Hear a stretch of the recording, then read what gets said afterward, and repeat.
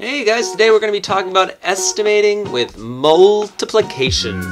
Now, with estimating, you are going to generally round, then solve. I see some people try to solve, then round, and creating more work for yourself. The whole purpose of estimation is to make it easier for you to solve. Something simple, something that you can almost do mentally in your head if you know your multiples, of course.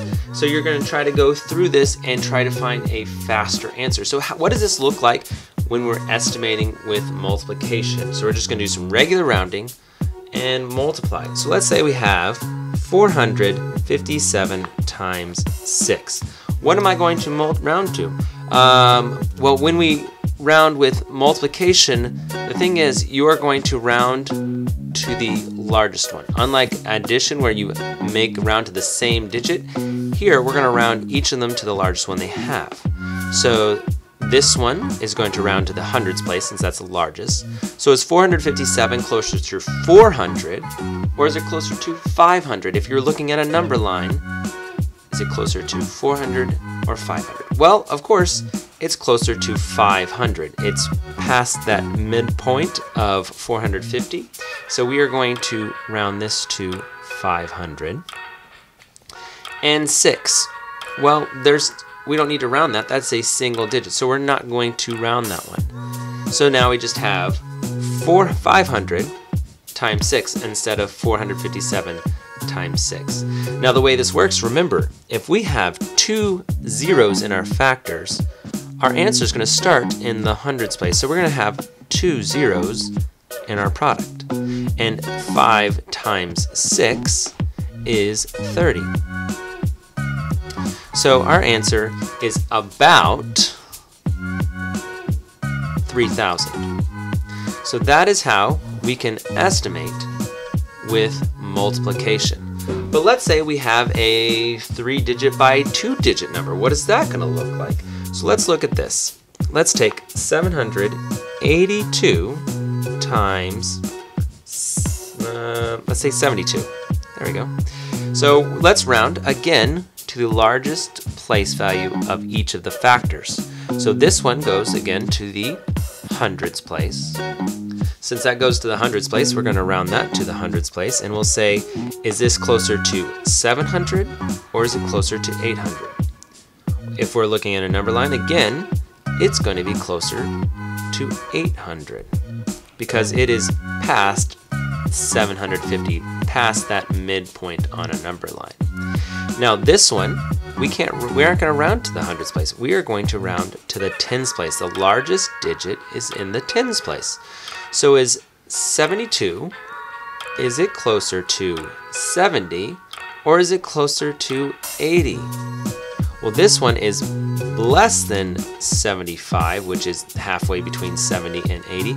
So we're going to round this one down to 70. And now we can multiply. Now this is where it gets interesting. How many digits, how many digits are zero in our factors? We have one, two, three. So we're gonna have three zeros in our product.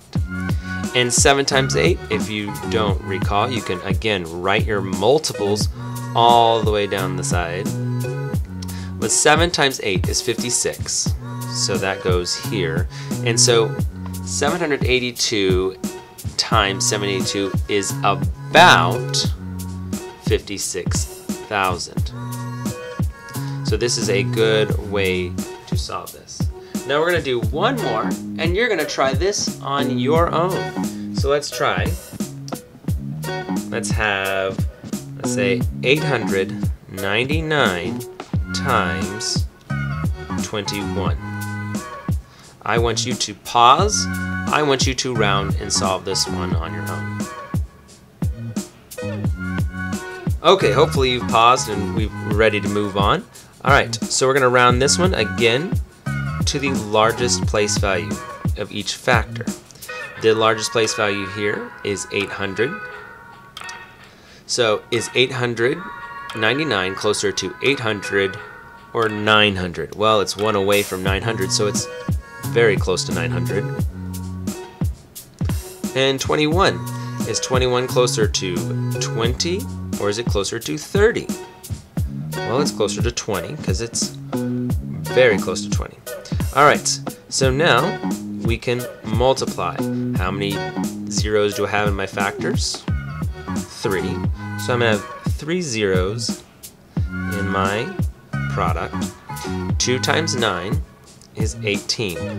So 899 times 21 is about 18,000. So again, estimation is about getting a quick answer, not having to create an extra step. So we have a couple we want you to decide on your own. So let's try on your own. Let's try 258 times 27. And then also try 359 times 45. All right. You got it. Good luck.